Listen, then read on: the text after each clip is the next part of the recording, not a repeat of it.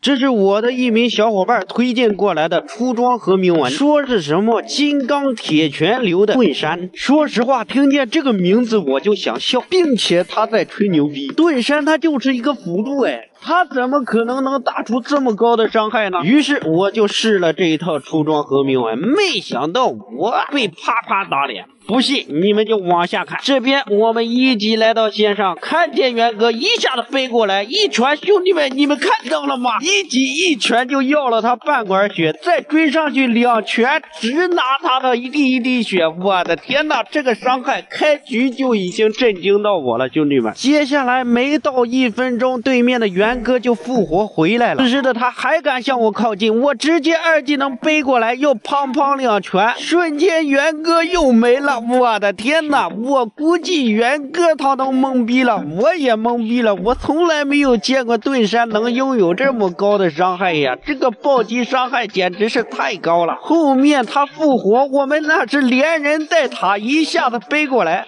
他给我举高高，我直接就释放斩杀了。兄弟们，这个伤害。元哥，你气不气啊？反正我要是遇见这种，我肯定气死了。别说，从现在开始这套出装就成了，肯定要喊人的。这一喊人就喊过来四个，其中的射手被我一杯给嘎了。对面的人员呢也赶忙的后退，我就直蹬蹬的追了上去。我二技能把中单背了过来，砰砰两拳，锋芒毕露。我的天哪，牛逼！现在对面想强留我，我又把对面的小老虎给背了过来。小老虎跑得比较快。但是还是被我追上，又是砰砰两拳，回头又背过来的一个元哥，砰砰两拳，我们二连击破，快来呀！这波对面来了五个人，被我干死四个，这个伤害真的是绝了，兄弟们！到了中期之后啊，我们这个伤害就越来越高了。你看，此时我再背一背射手，瞬间他的大半血就没了，摸他一下就能把他化成金币。此时蔡文姬他是个半肉墩儿，我一背再来一拳。二连击破盾山打人就是这么的简单，并且你看中单的大招打在我身上，他根本就不疼。对面的人员见了我只能逃，没有别的选择。剩下一个小老虎，他恬不知耻，他非要干我，那我就把他背过来，邦邦两拳把血补满，同时干掉他。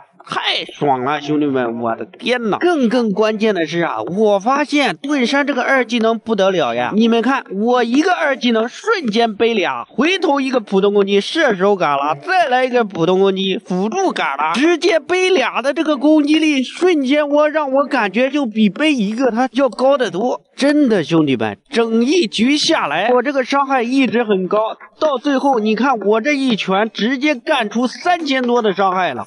元哥在我手上只能撑一拳，像这个中单还有小老虎也能多挨两拳，剩下的几个人在我的面前虽说有点难缠，但是我感觉对于现在我们的盾山来说，那都不叫事儿啊。蔡文姬再能补血怎么样？一下就秒他，他拿什么补？所以说，兄弟们，这套出装和铭文的盾山伤害真的是很高，我觉得大家真的可以去试一试。